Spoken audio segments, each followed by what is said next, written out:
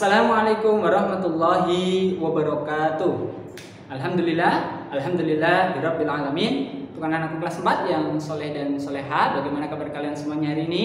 Semoga semuanya selalu dalam keadaan sehat dalam perlindungan Allah Subhanahu wa taala dan tetap semangat untuk belajar di rumah.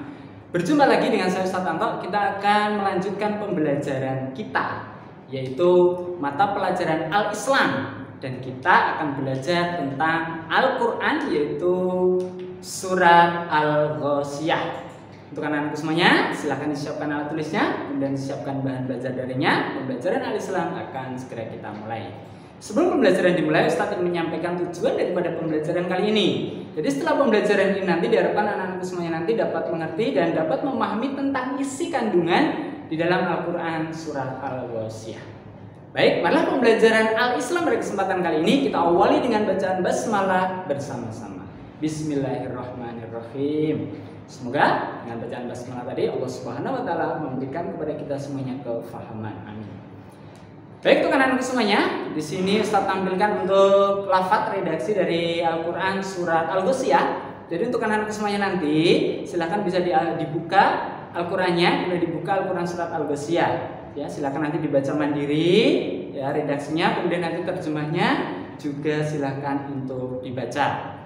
Baik langsung saja. Ustadz ingin menyampaikan tentang isi kandungan dari Al-Quran surat Al-Ghosyah baik surat Al-Ghosyah itu termasuk salah satu surat yang ada di juz 30 terdiri dari 26 ayat dan termasuk surat Makiyah Surat Al-Ghasyiyah diturunkan setelah surat Az-Zariyat. Ya. Arti Al-Ghasyiyah itu sendiri adalah peristiwa yang dahsyat. Yang dimaksud peristiwa yang dahsyat itu adalah hari kiamat. Baik, kita akan langsung masuk ke penjelasan ayat ke-1 sampai ke-7. Nah, ayat pertama sampai ke-7 dalam Quran surat Al-Ghasyiyah itu menceritakan tentang datangnya hari kiamat ya, dan makanan termasuk minuman bagi penduduk atau penghuni neraka. Untuk anak-anak semuanya, hari kiamat atau hari pembalasan pasti akan terjadi dan digambarkan di surat Al-Ghasyiyah. Di sana nanti akan dijumpai muka atau wajah yang tertunduk hina. Kenapa? Ini adalah ciri-ciri mereka yang akan masuk ke dalam neraka. Seperti contohnya orang-orang kafir, ya. Mereka akan masuk ke dalam neraka.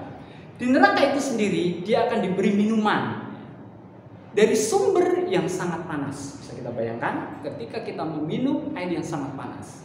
Alhamdulillah.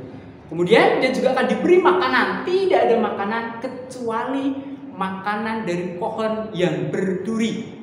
Dalam tafsir lain, ini adalah buah dori yang tidak bisa mengenyangkan. Termasuk minuman tadi tidak bisa menghilangkan rasa haus. Ini adalah balasan orang-orang yang masuk ke dalam neraka. Semoga kita bisa terhindar dari api neraka.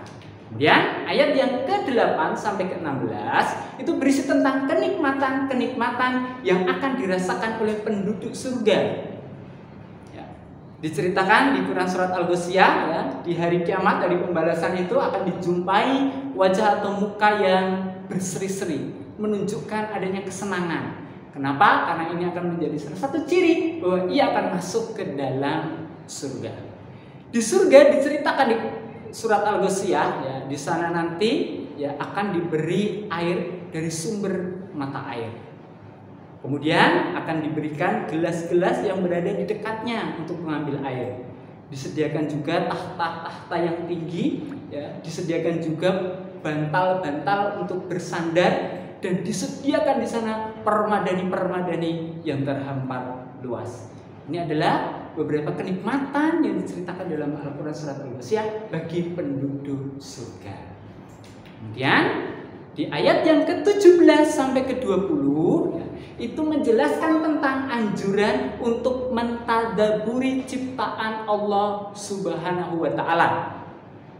Afala yang duruna ilal ibili kaifa Apakah mereka tidak memperhatikan bagaimana onta itu diciptakan? Wa ilas samai kaifa rufiat? Bagaimana langit itu ditinggikan? Wa ilal jibali kaifa nusibat dan bagaimana gunung itu ditegakkan? Wa ilal ardi kaifa sutihat dan bagaimana bumi itu dihamparkan? ini adalah ayat-ayat pertanyaan. Akan tetapi Allah tidak membutuhkan jawaban dari ayat ini. Akan tetapi yang perlu kita lakukan adalah kita harus mentadaburi ayat ini. Jadi kita perlu merenung dan memikirkan tentang ayat ini. Harapannya adalah dengan membaca ayat ini keimanan kita semakin semakin kuat bahwa Allah itu adalah satu-satunya Tuhan yang harus kita kita sembah. Kemudian di ayat yang ke-21 sampai ke-26 ya, sampai ayat terakhir ini menjelaskan tentang anjuran berdakwah. Da'a yada'u dakwah. Ya, jadi mengajak. Jadi tugas dakwah itu bukan hanya tugas para nabi dan rasul, itu juga menjadi tugas kita.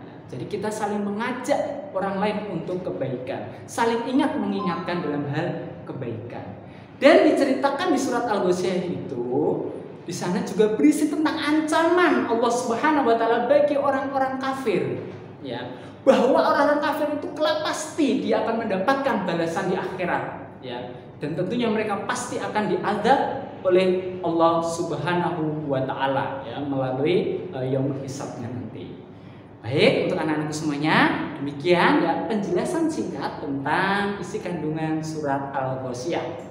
Setelah ini, silakan anak-anakku semuanya nanti untuk mengerjakan latihan soal. Kemudian di sana juga ada tugas mandiri, silakan dibaca petunjuknya dan dilaksanakan dengan sebaik-baiknya.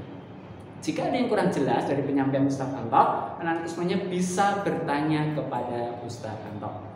Sebelum Ustaz akhiri dengan salam, Marilah pembelajaran al-Islam pada kesempatan kali ini kita akhiri dengan bacaan hamdalah bersama-sama. Alhamdulillahirabbil alamin. Assalamualaikum warahmatullahi wabarakatuh.